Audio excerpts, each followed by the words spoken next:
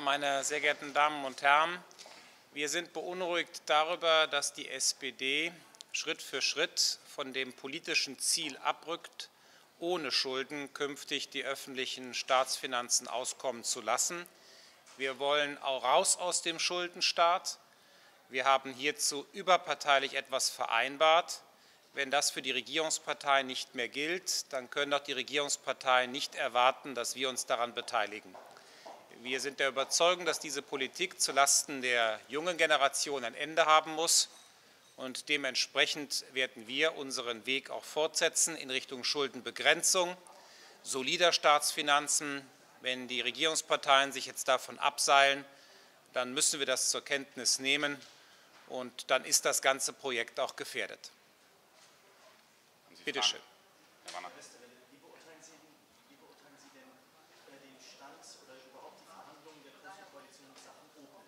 Trifft es, äh, der Wirtschaftsminister spricht von der geordneten Insolvenz, die SPD sagt, es kommt auf keinen Fall in Frage. Man hat selten bei einem so wichtigen Vorgang ein so heilloses Durcheinander innerhalb einer Regierung erlebt. Es weiß ja eigentlich in der Regierung keiner mehr, was der Kabinettskollege vorhat. Das alles ist äh, Ausdruck von Wahlkampf, aber nicht mehr von seriöser Problemlösung. Ich bedauere es sehr, weil ich mir vorstelle, wie es Opel-Mitarbeitern, wie es Familien jetzt geht, die Sorge um ihre Zukunft haben, dass auf ihrem Rücken hier zwischen den beiden Regierungsparteien ein solcher Wahlkampf ausgetragen wird. Wir können das nicht nachvollziehen.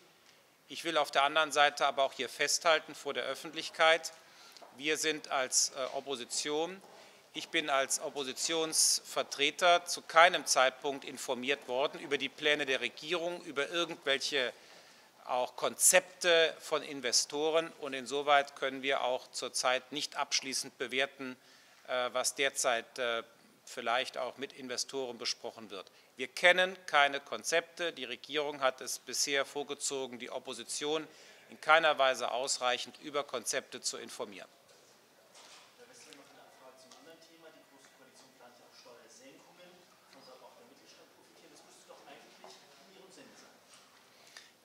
Ja, es ist schon schön, dass man mal Recht bekommt. Und äh, uns freut uns natürlich auch. Dieselben Regierungspolitiker, die die ganze Zeit gesagt haben, die Steuererleichterungen, die die FDP will, die gehen nicht. Kaum kommt die Wahl, sind sie dazu plötzlich in der Lage, willens und fähig. Da kann jeder seine Schlüsse daraus ziehen.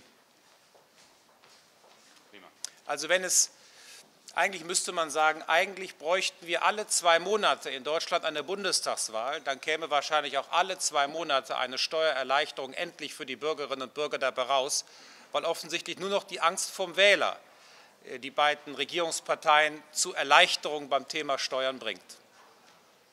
Dankeschön.